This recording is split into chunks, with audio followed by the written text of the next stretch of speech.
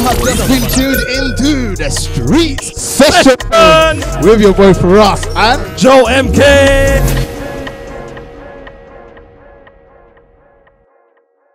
What's up, people? We're here with the musicians from Fatback Bands, and you guys just shut it down on stage. How do you feel? How was that performance for you? Um, the energy was at 100, great vibes, musicianship, and um, hey, be able to play with Mr. Bill, the original member of Fatback, you can't go wrong. That's amazing. How was it for you? I mean, it was fun. I enjoyed. I always love doing these festivals like this, like uh, just getting it, feeling the energy of, of the people, and uh, I mean, it's great. Love that for you. Can't help but notice that you're not from the UK. Where are you guys repping today? Hey, the States, United States, North Carolina. Same, North Carolina. North Carolina. I've never been there before, but if I ever come down, literally, it's a, it must be a vibe from what I've seen. From what I've seen. So yeah, what do you guys normally do then? What's your kind of day to day? You full time as just musicians? What kind of stuff do you normally uh, play at? Full-time musician right here, play for several bands, cover bands, um, mainstream artists. The list goes on. Yeah, pretty much the same. You know, play for whoever's paying. How did you get into music?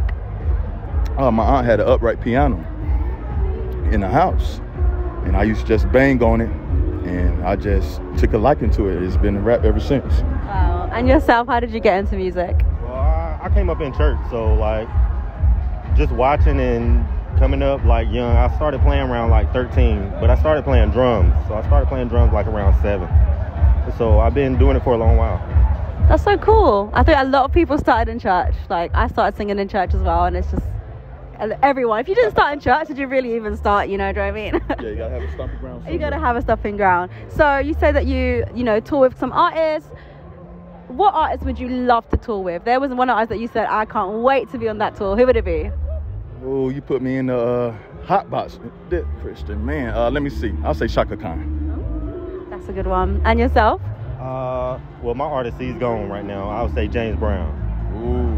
Classic. And he's such so electric on. He was so electric on stage. So that would have been amazing. What's next for you guys? What's what's coming? Um, hopefully we'll be back over here uh, in the UK.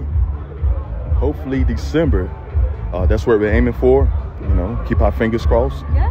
For the best. Love that for you. Do you want to plug yourself? Give us your socials, all of that, so the people them can follow you. Oh yes, Redell Williams on Facebook. R E D E L, last name Williams. Hit me up. Hey, I'm no stranger.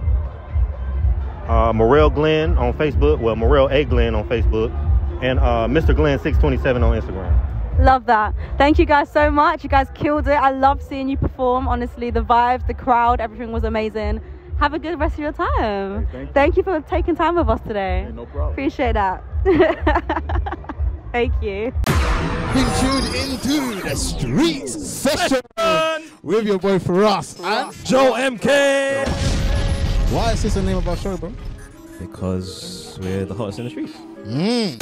Catch us online, on the go, and on the FM. Okay, let's go.